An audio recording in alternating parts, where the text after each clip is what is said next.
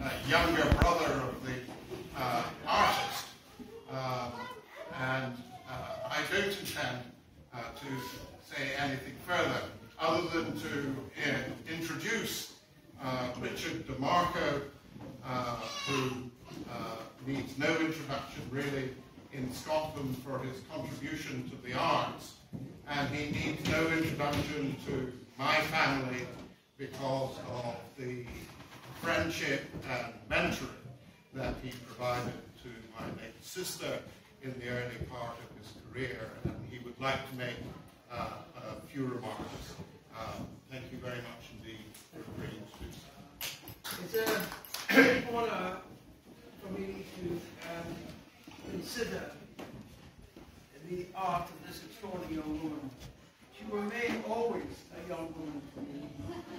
Um, I remember her first when she was a student and then followed the art was a wonderful photograph there uh, in one of those cases which you must look at with her uh, colleagues, uh, fellow students, and they're all studying graphic art. Now that's what I studied. Uh, I didn't want to become uh, one of those uh, people involved in uh, making masterpieces, and paintings, and all that. I wanted simply to be a graphic artist. People might be surprised to know that. I wanted to learn how to be a printmaker, uh, how to be a mural painter, uh, how to be, how to make art useful. I, I doubted the whole nonsense of people going to an art school become famous artists.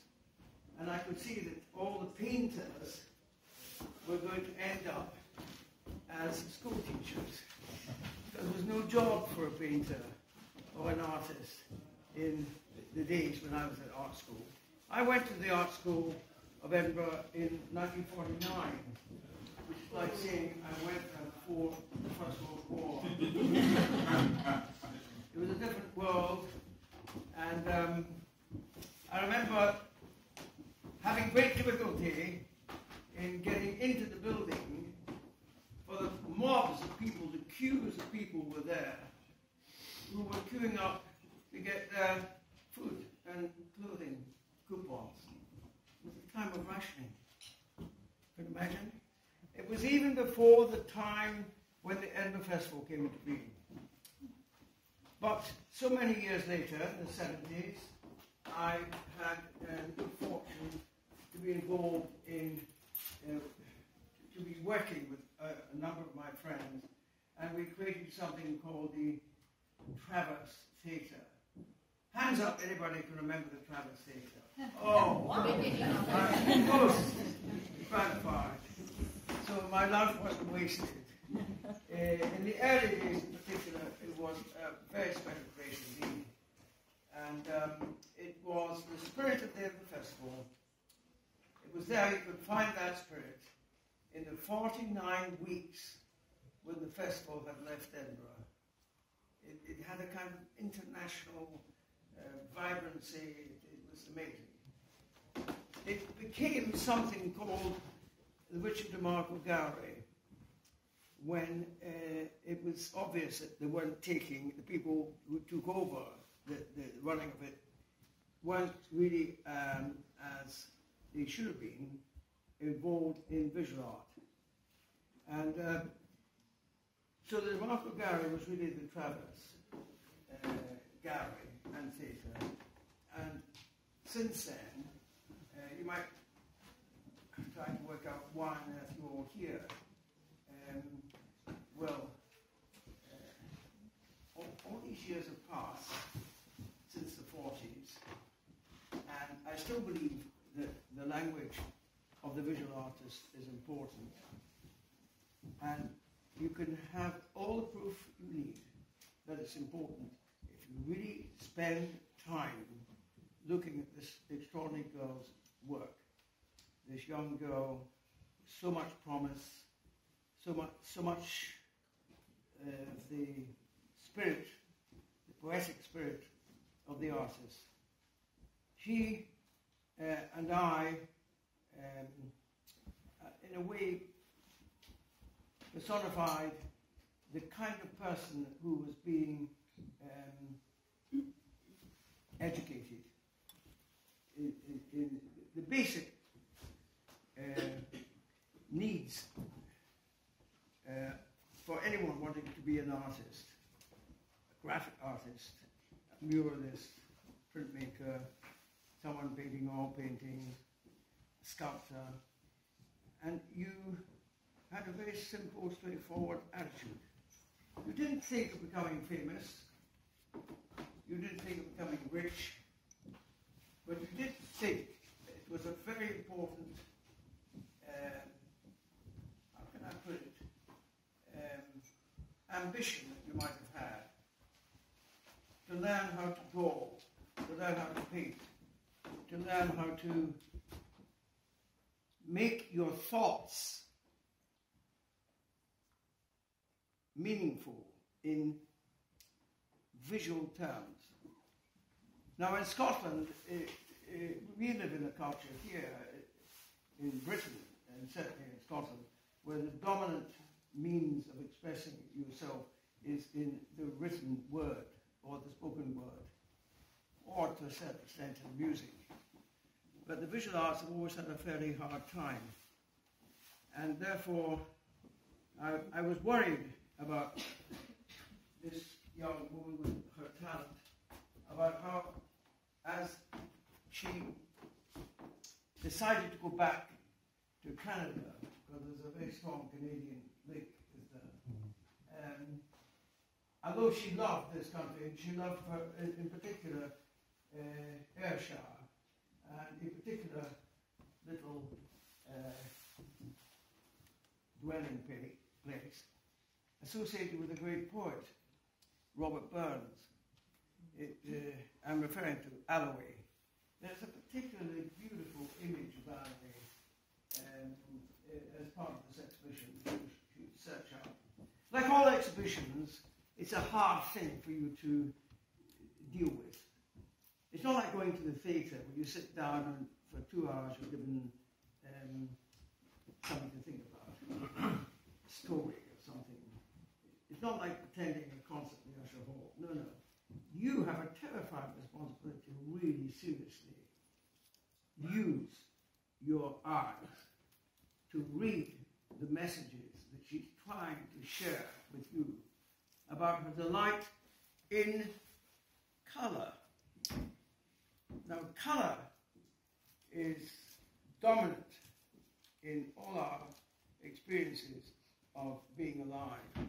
And I think uh, I'm standing here because I think this is a kind of self-portrait. If you look there, you see there's, a, there's the head of a young girl, and there is the, here we have the shoulders. But really what she's dealing with is not just the physical reality of herself or anyone of her age. It's, it's about youth and youthful exuberance and youthful hopes. But it's also about color as a means of expression. Of course, the great masters of color they dominate the history of art in the 20th century. I'm thinking of Matisse. Uh, I'm thinking of practically all the great artists who took color seriously. We are not educated in our primary, secondary, tertiary educational systems to know how to express ourselves in color. You understand? Uh, we're taught to play the violin or the piano or whatever, but color is a bit beyond us. So we should be grateful to this extraordinary artist to leave us such an extraordinary manifestation of our love for color. But it's not just color if you look seriously at what you've got here, you'll find that she has a delight in aspects of nature and the human presence in relation to uh, the plant world, the animal kingdom, and the shape of a human being. It could be herself, it could be people who have impressed her. But there you have another portrait. And again, uh, the use of colour is extraordinary. Um, of course, I define myself as a watercolorist. And she is without doubt a watercolorist. You've got to take that on board. You've got to let everybody you know and you care about, every child, every one that you take seriously in your life, to come here and delight in the art of applying watercolor paint. If you, if you go up very close here, you will be amazed at the way she has um, transformed this piece of paper, this large piece of paper, which is a difficult piece of paper to deal with because of its scale. And no, it doesn't matter which part of the paper you look at, uh, either this corner here, where she's paid great attention to making that corner um, different from that corner there and that corner there. And then dealing with this extraordinary, um, intricate web of forms transformed into pure color. It's like a symphony. It's, uh, it's, it's, like, I think of the music of Ravel. I think of um, all sorts of dreams that I have had, and I'm sure you have had, where color is dominant, where memory is wrapped up in color. Now, most people can do without color. They don't need it in their lives. I don't know. It never comes into the conversation. You know, you won't mention the word color in the, the world of politicians. It's not going to be mentioned in that august chamber of the House of Commons. They don't mention it. They don't need it. Yet these people are running our lives.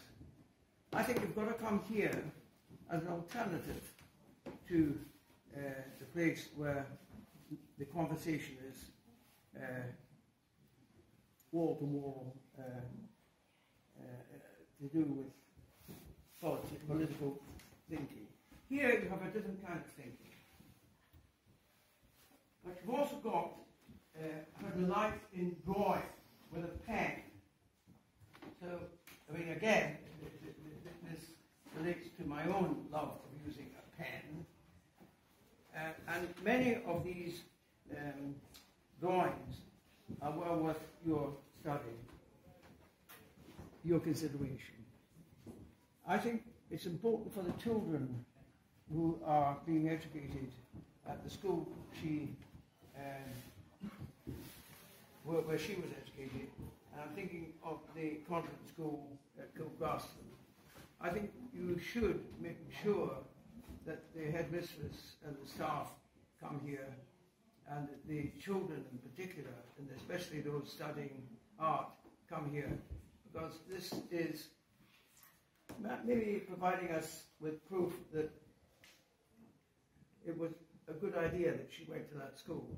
Because I think it was there that she learned how to express herself in this way. I think this room and the other two rooms are something uh, to treasure. They won't be here for very long uh, because um, this exhibition ends all too soon. So you've got a big responsibility to return here and really study it.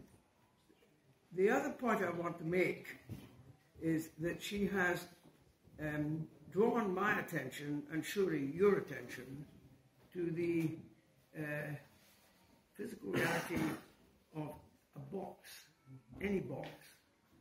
And she's taken great trouble to paint images of extraordinary variety on the lids of these boxes. Uh, I can see two of them, the uh, others in the other case. I think it would be well worth your while to take one of these boxes home, having paid prefer for it, of course.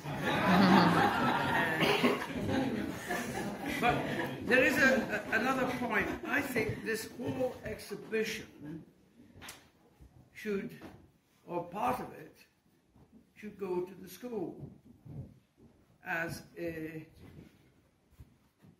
well, as a means of inspiring the children.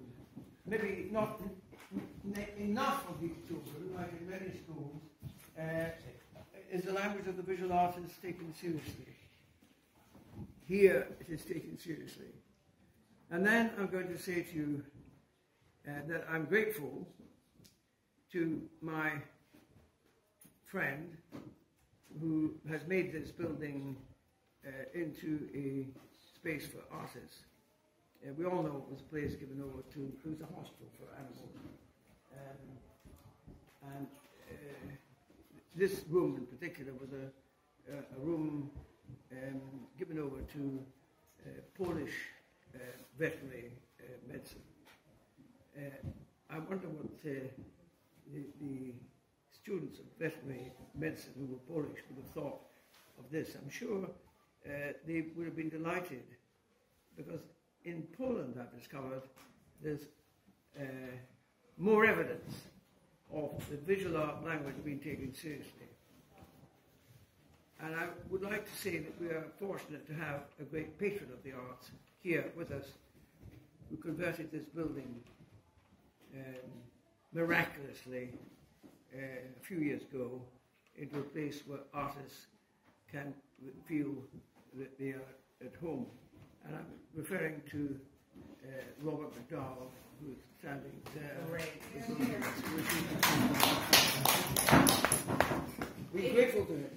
If you wouldn't mind, I just like don't want to take up space, but I've had the privilege of really getting to know the works of Anne Marie Gilmore and facilitating this exhibition and having a super challenge of familiarising myself with all her works and how to hang them.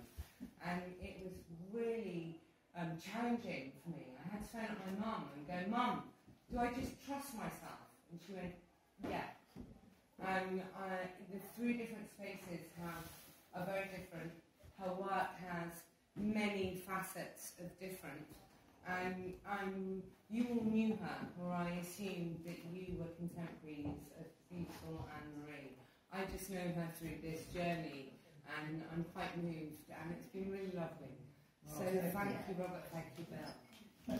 I just end by saying you mustn't forget her great gift as an inspiring teacher and it gave me great pleasure to introduce her and her art to the uh, people responsible for a very, very important art school in Montreal. Um, and through that introduction, she got the job, the responsibility of teaching. And it gave her great pleasure so what you've got here is evidence of the, um, the artist as teacher. You can imagine her sharing her obvious delight in making art, expressing her, expressing her joy in, in being alive through art with her students. She was a highly successful teacher and much love. And uh, you should know that I feel um, that I probably um, can feel grateful to that moment when I happen to be in Canada and I happen to be dealing with the people running that, that university, School of. Uh, and I happen to say it's about time that you realise there's someone from Scotland living here who should be employed by you. and, and that, caused, that caused her to be actively, uh, totally, com- completely committed to the business of sharing her art uh, with her students. Anyway, I would like to say that Bill Gilmore has done a fantastic job too, to frame everything the way it's framed, to gather it all, and now we have the great uh, responsibility of experiencing this seriously um, and thinking of ways in which we uh, extend its reality uh, beyond here. And I think it, it should grace every wall, every corridor wall, every room, especially the art room at Glasgow. The headmistress is not here, is she? No. The governors are not here. But it's more than the grapevine that's necessary. I think we have to see every child in that school welcomed here, to see uh, what the education at Kilgraston Common School can do for you. It can actually make you into the one thing that you're born to be, whether you like it or not. Everyone is born to be an artist. Everyone is born to be creative. Everyone is born to reveal their, the mystery of their life um, in some manifestation uh, of the art. She has chosen visual art language and she has left a great gift to all of us. We should be grateful to her life and to those who care for her and loved her and her family. Thank you.